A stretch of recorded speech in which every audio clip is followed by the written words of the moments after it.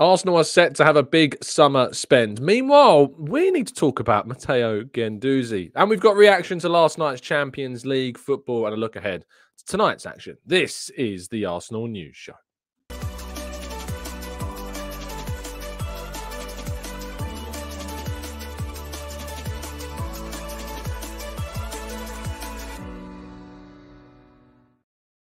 Hello and welcome to the Gooner Talk back again with you guys and girls for another episode of what is our Arsenal news show. Joining you every single morning at 8 a.m. UK time. Thank you so much, as always, for joining me and making this a part of your morning routine. It is very much appreciated. I hope that you'll drop a like on the video and help us to 1K every single day uh, as we aim to try and again show the power the ability, the camaraderie is the right word, I think, uh, of this amazing community that we have here at the channel. Good morning to those joining us live in the chat box. Uh, good morning to Damien, to Maximius, to Thomas, to Rich, to Blackshine, to Glenn, Matt G, Mr. Reed, Temi, uh, Messinguzi, uh, Arsenal Adventure, Pat, Martin, uh, Vivian, Louis, uh, Ismail, Carl Kish, uh, Kaiser, Input, and Marcus. And thank you so much to everybody else, of course, joining us too. It is hugely appreciated. Really appreciate your time uh, to tune in. And as I say, make this part of yeah, your daily routines. Um, if you could drop that like and help us to that 1K, it would be heavily appreciated. Uh, we'll jump straight into today's stories, I think, and not waste any time. Uh, yesterday evening, we saw the Champions League uh, take place, the first round of the second legs results of the last 16 of the competition. Bayern Munich went into their game against Lazio 1 0 down following their defeat um, in Rome before a 3 0 win on the evening. Uh, we saw a goal, of course, from uh, Harry Kane uh, to level things up, and then a goal from Thomas Muller to kind of press home the advantage before uh, another goal from Harry Kane in the second half has really done plenty to alleviate some of that pressure from Thomas Tuchel as well. Now, Real Sociedad were unable to turn around their scoreline against PSG in their game. They were already going into the game uh, 2 uh, 0 down from the first leg, and they were quickly 3 0 down when Kylian Mbappe scored after 15 minutes. Uh, he then put a second in the back of the net in the second half, and a sole consolation from Mikel Merino towards the end of the game was far from enough to get the job done for Real Sociedad. And so PSG and Bayern are indeed our first competitors in the quarterfinals of this season's Champions League. Arsenal, of course, take on Porto in their second leg game next week. And then tonight, we've got Manchester City against FC Copenhagen. They already have a 3 1 lead, uh, lead that they took home from Denmark. And then we've got Real Madrid against RB Leipzig. Real Madrid with the 1 0 lead following their win in Germany. So I'd expect still City and Real Madrid to progress. And then, of course, we'll be facing the big questions of whether Arsenal will do the business on their end. Uh, come, of course. Uh, come, of course, that next week game, which I cannot help but get incredibly anxious about somewhat. Moving forwards, and Saka has won Arsenal's Player of the Month awards. However, he was snubbed from the Premier League award. Rasmus Højlund picking up the award for his contributions to Manchester United's February. I can't help but feel that Saka has been particularly hard done by an Arsenal team that has utterly dominated sides during last month. It's been an amazing month of football for Arsenal that has hmm. only continued into this month and seen Arsenal pick up their next massive victory. But don't forget, February is a month that saw Arsenal beat Liverpool 3 1, beat West Ham United 6 0, beat Burnley 5 0, and beat Newcastle 4 1. And Saka was important to all of those games. And somehow, some way, Manchester United's Rasmus Højlund picked up the award instead. I don't get it. I don't really know how, but uh, at least he's won our Arsenal Player of the Month because it's appreciated by us as this seeming agenda continues to perpetuate through the league and uh, pundits and, and the like as well. But uh, Rasmus Højlund, the player that picks up the award for the Premier League over Saka, who wins the Arsenal Player of the Month award. Now, uh, this was uh, news that came out a couple of days ago, but we haven't had a chance to discuss it, so I'm bringing it up now. Uh, Paul Tierney will be the VAR official for Arsenal's game against Brentford this weekend. This is despite the fact that Tierney, of course, made that significant error in the game between Liverpool and Nottingham Forest, which led to Liverpool being given back possession of the ball, despite the fact, of course, that Nottingham Forest uh, should have been in possession. And then, of course, that led to the build up to the corner, which eventually led to Liverpool scoring their 99th minute winner in their game. He will not take part as a referee for any of the games this weekend as I would assume, some kind of um, repercussion of the weekend. I can't help but feel that this is an incredibly light, if it is indeed anything other than a, a punishment. There's been recently a lot of controversy in Spain. Um, referees, uh, the referee that made the error supposedly in the game between Real Madrid uh, and Valencia at the weekend, I believe that he's been suspended for two weeks worth of actions. Indeed, uh, just checking this uh, according to uh, Archivo VAR, uh, Gil Manzano has been suspended by the technical referees committee for his mistake during Valencia Real Madrid, and he is suspended for two matches pending a final verdict. Um, really kind of and, and, the thing is that Mike Dean was speaking about this on Sky Sports and said that it's a monumental error that Paul Tierney made during the game between Nottingham Forest and Liverpool because um, it's just written in law that Nottingham Forest should have been given the ball back and not Liverpool. So it's uh yeah, it's a strange one. Uh, it's a very strange one that Paul Tierney's not faced further repercussions for. It is just by the letter of the law a mistake um that was made. So and he VAR the game between Arsenal and Brentford. Now Matteo Guendouzi uh, believe it or not, has come back into the Arsenal sphere and uh, has brought himself into the headlines. He conducted an interview with the Athletic uh, recently, uh, but he did speak about um, his time with Arsenal, and he's made me hold my hands up and say, "Fair play, Matteo Guendouzi." Now, if you've listened to the channel for quite a while, you know I'm not the biggest fan, or haven't been the biggest fan of Matteo Guendouzi. I wasn't a big fan of his actions at Arsenal. I wasn't the biggest fan how his time at Arsenal came to an end, or his behaviour, or the way in which he uh, kind of broke the principles that had been laid out by Arteta and some of the incidents that went on behind the scenes. Well, he's done an interview with The Athletic where he said, I didn't work with Arteta a lot. I only had six months. I was 19, so I was learning every day, and I wouldn't make the same mistakes I did when I was 19. But in football, every day you learn, and mistakes are part of football. Mistakes are part of life. You become a better man and a better footballer with mistakes. And for me, it was a very good club because I played a lot. Arteta is doing a very good job at Arsenal. They are fighting for the title and they are a very good team, and he's done amazing things. I hope they will get a trophy because Arsenal is a big club. I wish the best for them. And I think that it's important always to say things like second chances are important. I am always open to give somebody a second chance, especially if they can hold their hands up and say, you know what, I got that wrong, or my previous behavior was not okay, it was not good enough. Second chances are important. It's what makes us human. And so, therefore, I say fair play, Matteo Guendouzi, for speaking the way that he spoke and for admitting the mistakes that was made in the past and taking ownership for them. He's got older, he's more mature, he's playing at Champions League level for Lazio. He's been playing for Marseille and Hertha Berlin before that on loan from Arsenal. So, fair play to the guy. Fair play. Uh, and our headline story of the day is that, according to David Ornstein, again with the Athletic, uh, Arsenal are expected to spend heavily on youth in the summer as an expectation that Arsenal could go down the route of sustainability in terms of trying to extend the competitivity of the squads into the future. And of course, thinking about players getting older, we've got a lot of players that are, of course, reaching certain ages, like Thomas Partey. Of course, our midfield is full of those players Thomas Partey, Elneny, Jorginho. There is going to need to be replacements in the future. And I think they want to improve the academy, of course, as well. But it is said that a striker remains the priority for Arsenal in that window, and that Arsenal will look to try and strengthen in that centre forward position. Who that centre forward may be, very, very intrigued to see whether or not uh, it's a Victor Gyökeres or whether it's a uh, and Ivan Toney, although I doubt it is going to be, uh, Ollie Watkins, and Alexander Isak. Uh, lots of options that Arsenal have got. Benjamin Sesko, Evan Ferguson. Who will it be that Arsenal end up pushing to try and sign? I am waiting in anticipation for the summer transfer window to get underway. And of course, you know that we'll be bringing you daily updates on everything to do with Arsenal and that transfer window.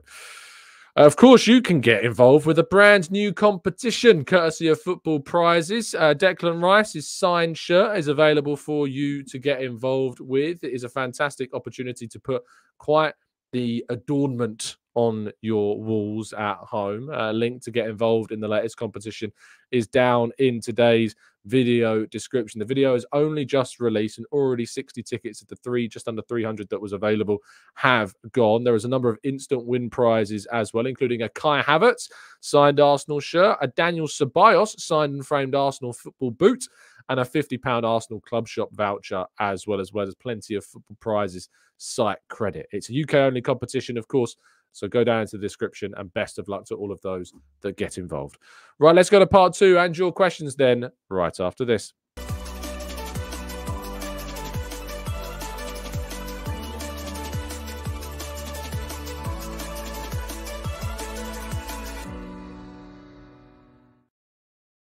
Okay, part two. Um, and your questions, your comments in the chat box. Uh, shall we have a look at what you are saying?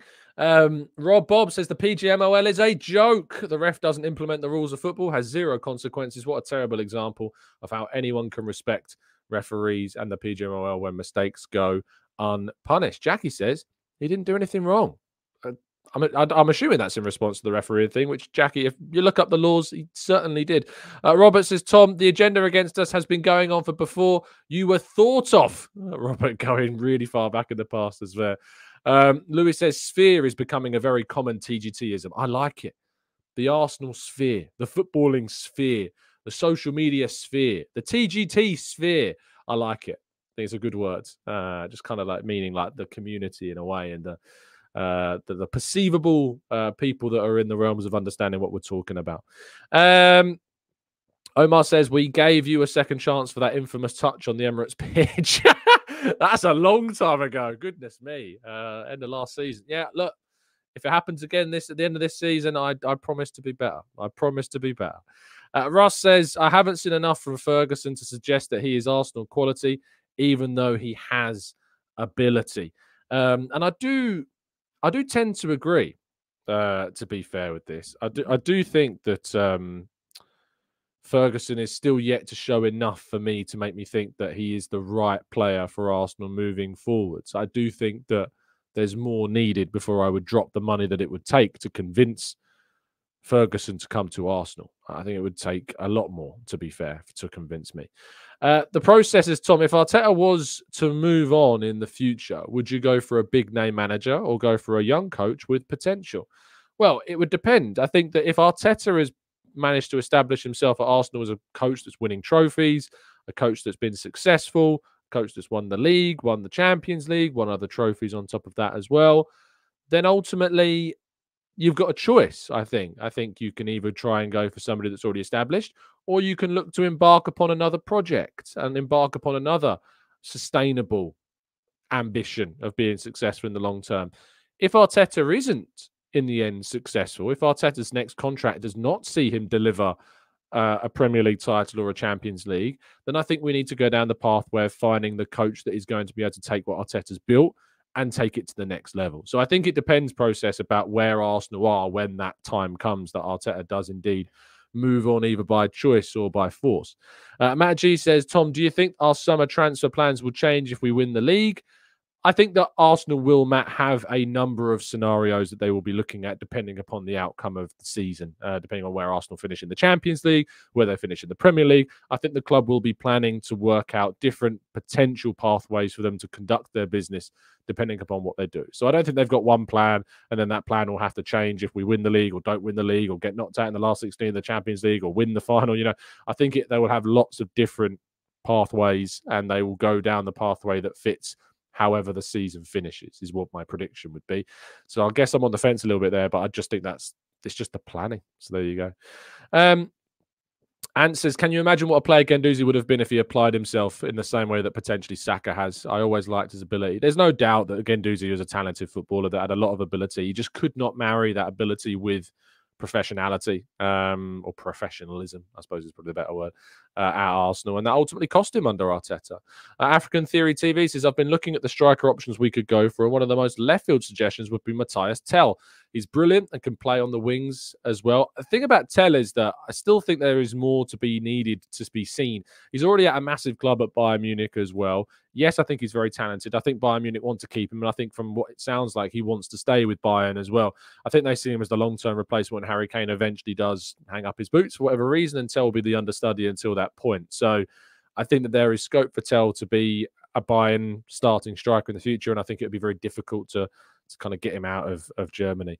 Uh, Josh says, Hi, Tom. Uh, did you know that Sheffield United has released an extended video of the 6 0 thrashing of them on their YouTube channel? Are they a glutton for punishment? Are they? I'll make sure to check that one out. Uh, Thomas says, Morning, Tom. I think we should consider Watkins and Musiala. What are your thoughts? I mean, if Arsenal signed Ollie Watkins and Musiala in the summer, that'd be an excellent bit of business. I saw someone suggesting in the comments yesterday that Ollie Watkins wasn't good enough. I think someone tweeted me the other day saying Ollie Watkins wasn't good enough. I mean, have they not watched Ollie Watkins? I know he's not fashionable. He's an English striker with a name like Ollie Watkins, you know. Uh, and I know that he's not. Uh, I don't, I don't know what it is, but there's something about English players that don't tend to spark too much, you know, inspiration. But Declan Rice, we got a guy called Declan, and he's world class. He's brilliant. I think people, for some reason, just don't don't find themselves gravitating towards English players as they do players from elsewhere. Watkins is brilliant. He's what he's arguably he's arguably player of the season.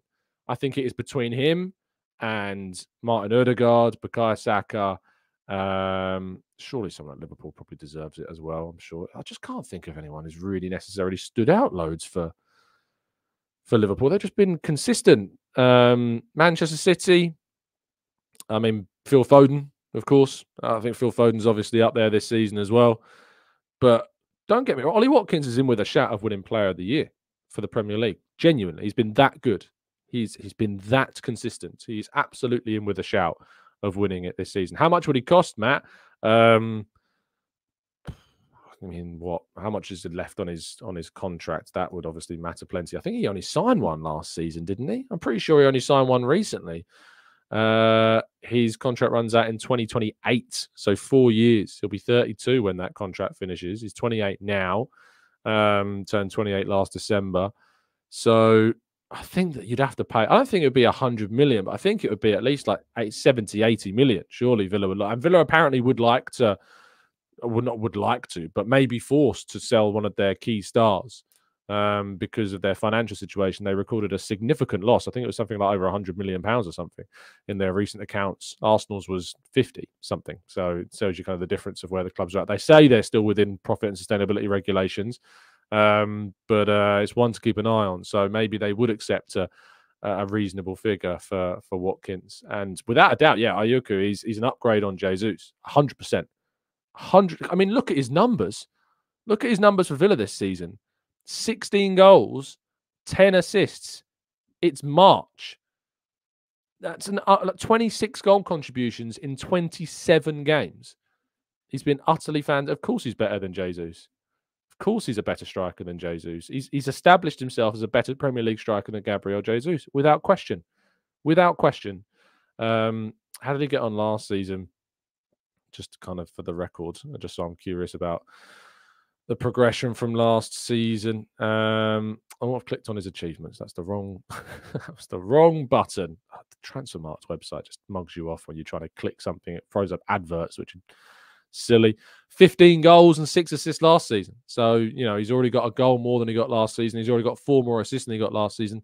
This is a guy that is is on the rise, continually bettering what did the season before. Season before that, 11 goals, two assists. He's gone from 11 goals to 15 goals. He's now on 16 goals. He's in his prime. Footballers' primes now going well, especially to strikers in that regard as well, into their 30s. You're at least going to get three, four, maybe even five seasons out of Ollie Watkins.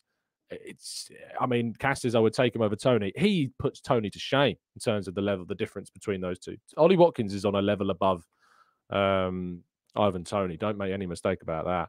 Uh, Derek says, "Does Kiwior keep his place when the injuries come back?" I think he suspend- cemented his place. I agree with you, Derek. I think that he absolutely has. Franklin says, "I don't think we should be signing a 28-year-old based on one great." I really hate these words.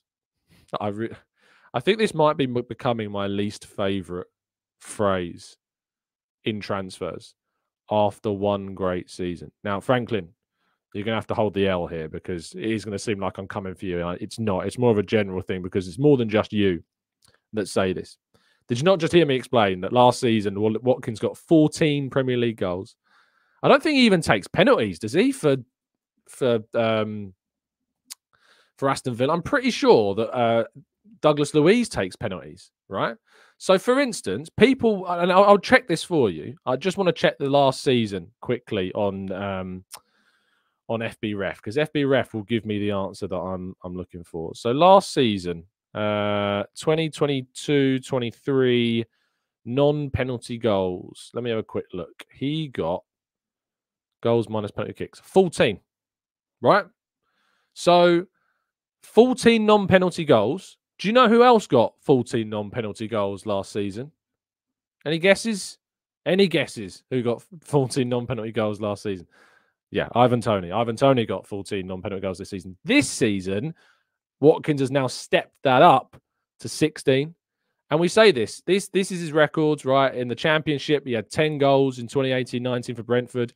In 2019-20 for Brentford, he got 25 goals, which is slightly more than Victor Gyokeres. I think Victor Gyokeres got 22 in his last season for Coventry. Uh, Watkins now 25. In his first season in the Premier League, he got 13 goals, non-penalty, by the way. This is I'm talking about. Um, goals and assists, he got 19 during his first Premier League season. Um, second season, uh, 10 non-penalty goals, uh, 13 uh, goals and assists that season, 2022-23, 14, 21 goals and assists non penalty goals this season 16, 26 goals and assists this season for uh, Aston Villa. I hate the phrase one good season. A, because nine times out of 10, it's not just one good season. And B, when it is one good season, it's like people don't want to look at what's come before and see the progression up to that point and recognize that this player is clearly on an upward trajectory. They're moving in one direction, like Victor Gyokeres, for instance. They've gone from the championship of scoring around what 15 goals to 22 goals, and then gone to Sporting and scored 30 goals. You know, and you're on that upward trajectory, and you're going in that direction. People are like, yeah, it's one good season. Not keen. Don't want to spend that. I'm sorry, but no, it just doesn't work that way. Uh, you, you, need to get away from these classic phrases of one good season or look at the league they're playing in. No, look at the player on merit. Look at the player of what they do. Look at what they are. Don't the factors that people go to the lengths to try and dissuade people from these players. I really don't get it. I just can't quite get it. And yet at the same time, I'm willing to kind of jump on Evan Ferguson as like this bastion of, of obvious signing. Like he's got less goals and assists than Nketiah's got in the Premier League this season. So I don't necessarily think that you know it's it's as cut and dry as saying one good season. It's not. It's, it's not as easy as that. Uh, Global House Sitter says, was watching All or Nothing last night. I feel sad that Smith isn't more part of the team. I really hope he doesn't move on in the summer. Uh, do you think others feel the same or that fans have moved on? I think a lot of people feel that way, that they don't want uh, Smith Rowe to move on. Uh, look, if you're honest, asking me honestly, I'd, I'd love the kid. I think he's brilliant. I wish he was more confident. I wish he'd come out of his shell a bit more. I wish he would get more opportunities as well and take them when they come better. But Sometimes you got to be ruthless. Sometimes you have to make tough calls. We've done that this season with Aaron Ramsdale, for instance, and I think we're better for it. And we're probably going to have to do the same. If you told me that Musiala's not signing a new deal at Bayern Munich and we can go out and sign Musiala to replace Emil Smith Rowe, I'm doing it like that. It's uh, it's it wouldn't even be a debate at all. Uh, Tommy says we're in a good position striker wise. We don't look desperate for one, um, but on the flip side, every striker is going to want to play in this Arsenal side. Imagine what a top striker could do in this team. And there is intrigue for me. There is intrigue to see if we signed my number one pick in terms of Victor Gyokeres, what could that do to this Arsenal team? What could having him in this Arsenal team do? I'm interested to see how Kai Havertz finishes the season. I think Kai Havertz is a fantastic option for us at the moment. Three goals in three games, five five goal contributions in three games. Um, can he continue that form is the question. And let's not pretend that he hasn't shown up in big games. He was excellent against Liverpool in the home game as well. So don't forget that. He can turn up in the big games for us. So let's let's see um, what Kai Havertz ends up doing for Arsenal. Um, let's go to uh, Aguna Mateta says, uh, like some of our fan base, we are on the up and have got to Uh, get players. Sorry, what? We are like some of our fan base. We on the up. Got to grunts in front of.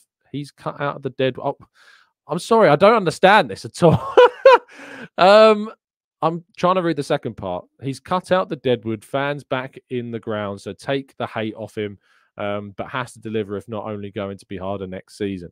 I think that's meant to be Arteta. He's talk. I think you're talking about there. Um, yeah, and obviously he has got out the players that we didn't need, and he's upgraded the squad, and now he's competing for a successive title challenge. You know, it shows you the progression of this team. And I've always said that I think we need to be looking at trying to sign strikers on the up now and we should try and bring in players that are going to be moving in that direction, not players that necessarily need a revival like a Mudryk or someone like that, for instance. Um, Tizer says, Hi, Tom. Um, it was great to hear from Edu say that they were already working on transfers and they have already moved on some of the targets after speaking with them. Uh, shows that we're going for the right attitude in terms of players as well. This is, I mean, it is great to hear it. You're right, absolutely. But at the same time, it shouldn't come as a surprise to anybody. This is how Arsenal have acted. This is how Arsenal always act. It's how most clubs act. Actions toward the next transfer window are taken very early on. Now, it doesn't mean that necessarily those plans come to fruition always because factors change. It depends upon where you are, it depends upon what your profit and sustainability regulation situation is, it depends what your FFP situation is, it depends what you win, it depends on contract situations, it depends upon what players might want to move on. You might have a bomb dropped on you, the fact that a player might want to leave. You know, you it's difficult. So planning always takes place well ahead of transfer windows, always, consistently, and has done at Arsenal that has led us to be in a position where we've grown the squad so successfully that the team that competed for second in the league last season and finished second in the league was on a lower wage than the squad that Unai Emery had. That is the difference. That is what we have done to this club. Is the club, the staff, and the player costs of the squad from 2018-19 was on more than the squad that finished second in the league last season. That's the work that has been done at Arsenal. It's more this season, of course, because we've renewed contracts, we've brought players in. But uh, my goodness me, um, it is it's been absolutely stunning to see the work that's gone on in this regard as well.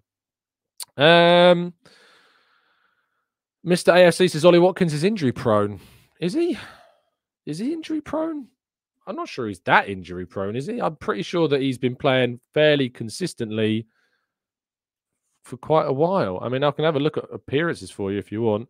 This season, uh, 37 games played.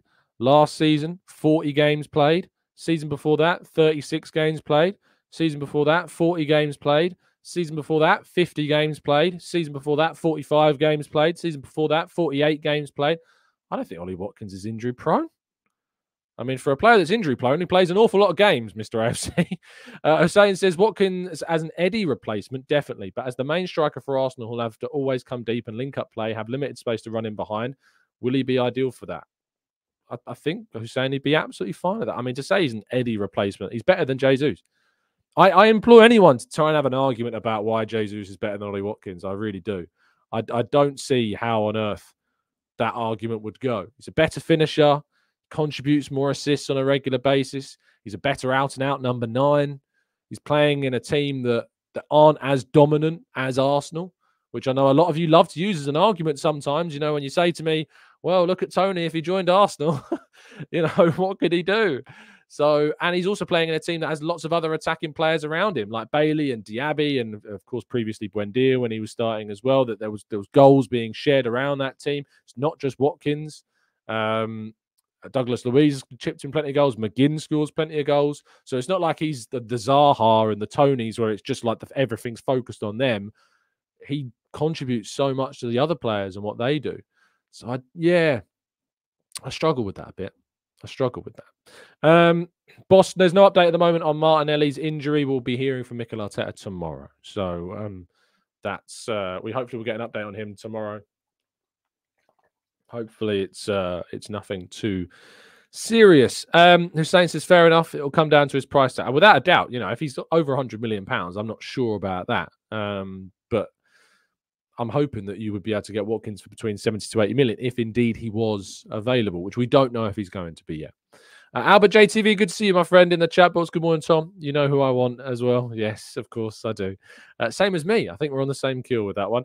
Um, uh, Vincent says, uh, Hi, Tom. After seeing Kane and Muller put three past Lazio, and also based on how we've uh, played in the Premier League since Dubai, it kind of gives me some hope going into the Champions League against Porto. You should have plenty of hope. Everyone should be very optimistic about that game. I know it sucked that we lost um, in the previous round, in the previous game uh, in Porto, in really frustrating fashion. But we should be going into this game full of confidence, with full of belief, and the understanding that we should be absolutely putting several goals past Porto. I don't care how good they are defensively. We should be putting. I know they scored five at the weekend against Benfica, and they're, they're a good side, but we shouldn't be going out to Porto. And I want to. I want to hear that Emirates crowd on an absolute different level um, to what we have previously come to expect from um, you know, from that type of thing. Albert JTV says, "Good morning, Tom. You know who I would love as a striker? Bring in Goyo to the to the red carpet." And yes, of course, I did press the like button. Lovely stuff. Uh, Chilo says, "A thousand of us watching, but there's less than 300 likes. What type of world do we live in?" Chilo says, "Hit that like button, please do." Thank you so much. Um, by the way, if you spam my chat box, you don't get your questions answered. So please don't do that. Um, Awegbu says a right winger, backup keeper, a top striker, two midfielders, uh, Luis Zubimendi and Fofana, and that should be it for us. I tell you what, Zubimendi didn't have the best of Champions League outings again against uh, PSG in terms of like his production, in terms of his output, and I think that that game, that tie between them and PSG, is going to be used against Zubimendi whenever discussions come up about the, the, Spaniard. Make no bones about it; he's a fantastic midfielder. Um, but I think that that that tie is going to be used against him because a lot of people watched it for obvious reasons. I might do, do a little bit of diving into those games with uh, with Zubimendi in that, but I don't think he stood out as much as maybe hope people were hoping that he would stand out for a team that was always going to be dominated, of course, by PSG. Uh, and M says people are turning their nose up on Zubimendi after two lackluster performances against PSG, where the entire Sociedad team were poor. Yet the same people were saying Arteta can fix Havertz. P.S. I'm not Havertz bashing there. Indeed, you got to accept that players that will arrive at Arsenal, Arteta is going to be able to do. You know, if he signs them, it's because he sees that he can get more from them as well. So I look, I look to that. Fuad says Douglas Luiz or Zubimendi. I think we need a DM more than a an eight, and I see Luiz as more of an eight, to be honest, Fuad. Um, so I, I, lean towards Mendy in that regard because I think he suits the position that we're going to need when Thomas Partey, I inevitably feel, does move on. Uh, Derek says Eddie, Smith Rowe, Nelson now done. Also, is Toney injured? And Mbeumo is back. Really tough game at the weekend as well. Um, do I think those two are probably done? Are those three? I think probably, yes. I think we'll probably see them move on in the summer. Toney, is he injured? We don't know yet. We'll hear from Thomas Frank this week. And then Mbeumo could be back for this game, of course. It's going to be a tough game, but I re- I back Arsenal to do the business and to be plenty competitive, you know, against Brentford. Um, Peter says, Tom, with Elneny leaving and Partey looking likely to leave as well, would you sign a new midfielder and give Patino the other slot? Patino, sadly, has just not come on at, at, at, uh, at Swansea. He had a decent loan at Blackpool, but it's it's not working out at Swansea. I think he'll probably move on in the summer unless he signs a new deal. But I'd be surprised if he did. Um, talented player, very very talented player. Um, but I'm not sure whether or not he's developed enough to suggest that he would make it at Arsenal if that would be the right move for him next. Um, and says, Tom, you should do a poll asking if previous Arteta outs have changed their mind. It's impossible to do that poll because other people will vote on it who aren't Arteta out. You know, if you could say, if you are Arteta out, have you now changed your mind? Um, plus, I think that the majority of people that have been Arteta out, the more stubborn ones amongst the fan base, and probably more proud in their view that wouldn't necessarily be changing it. So it's difficult to have that that debate. I don't think there is a debate. no one's going to argue successfully that Arteta should be sacked at this point. Uh, Pratika said Odegaard was a wonder kid that Madrid didn't value. Havertz was a wonder kid that Chelsea didn't value. Arteta unlocked them. What other wonder kids should we keep an eye on? For Arteta to unlock as well.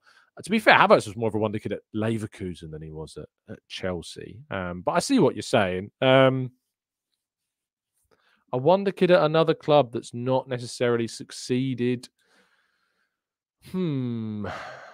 This is where my knowledge of, of football has become so Arsenal centric that uh, I'm trying now to think of, of others. I'm sure the chat box are coming up with some really good examples, and we'll try and get to those as well if you've got them. Uh, Wonder Kids, other clubs that haven't necessarily exploded. Uh, Ansu Fati is, is a decent. I, I mean, Xavi Simons is not not in the category. He is not in the category of, of players. That he is a brilliant player and he's doing brilliant. Hugo Ekitike is a fantastic shout, Ben. Yeah, PSG haven't necessarily seen him flourish. Uh, TJR says Jaden Sancho. Anna says uh, Ferran Torres as well. Um, Rashford. That's a funny shout. Uh, Lol Bellingham. Yeah, good one. Good one.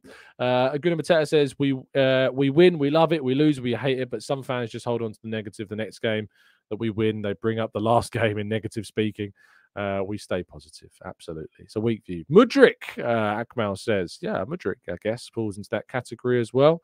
Uh, Moriba, yes, the Barcelona central midfielder as well. Um, he was one that was talked about heavily as being Ilaix Moriba. He went to he's at Bar- RB Leipzig now, is he? Is he on loan? He's on loan at Getafe this season. He played 38 games for Valencia last season, but he's only played three times for for Getafe this year.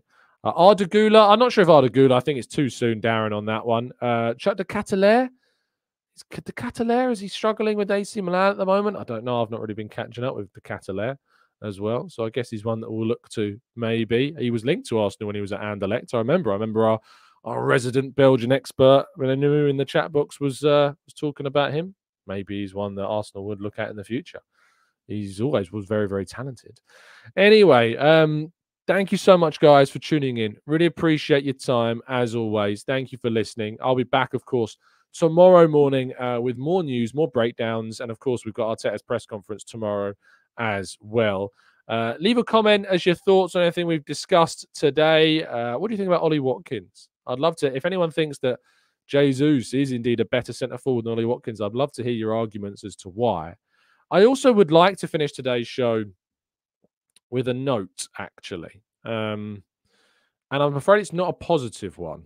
And I was going to talk about yesterday, but I thought no, I'll focus on um, I'll focus on the game and I'll focus on that because I don't want to bring attention to it during the talk about the game. But we were left a comment. You may have seen this on the show from uh, I think it was I think it was Monday morning.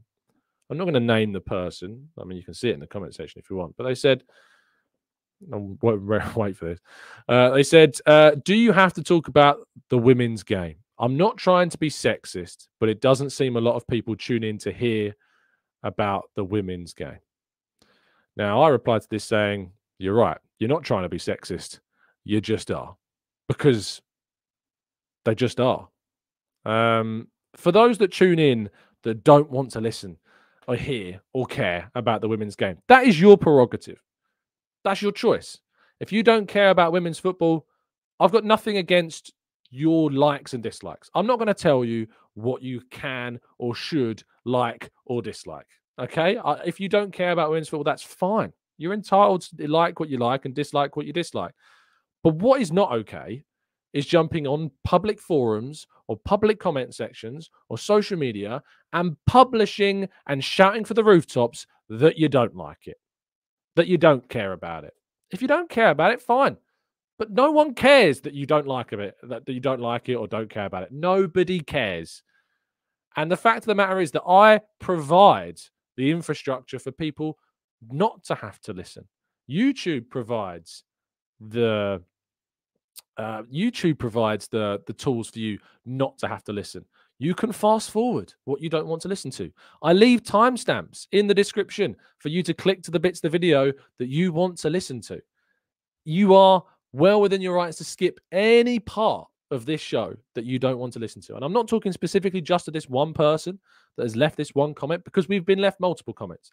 I also direct you in the direction of the show that I did with Sophie and Laura. I also joined Sophie last night on her channel um, to talk about the Sheffield United game and the wider context of Arsenal as well. But I direct you towards that show I did with Sophie and Laura so you can get a better idea about how it feels from their perspective when we see comments like that, when we see comments spoken about published like that, because it's not nice. It's it's not a nice feeling. It's not very Arsenal It's not very community. It's not very TGT. I'm really proud of this community. It's a shame that we have people that leave comments like that. So, again, just to say, you can listen to what you want to listen to. You can like what you want to like, you know, um, but you don't need to tell people. You don't need to publish it. No one cares, mate. No one cares if you don't like women's football. That's your own problem. You know, if you if you hate it, if you hate women that much that you don't like their football and that you want to talk to people about the fact you hate women's football that much, that's your own problem and keep it to yourselves. Anyway, thank you for listening, everybody. Really appreciate your time. Do drop a like on the video and subscribe to the channel if you're new around here with those notifications turned on so you never miss it. Help us to get to 1K likes every single day. I very much appreciate it. And uh, I'll be back tomorrow morning, bright and early at 8 a.m. once again to round you up on all the latest Arsenal news. Stay safe, stay well, stay happy and respectful, especially listening to that last word. And as always, up the Arsenal.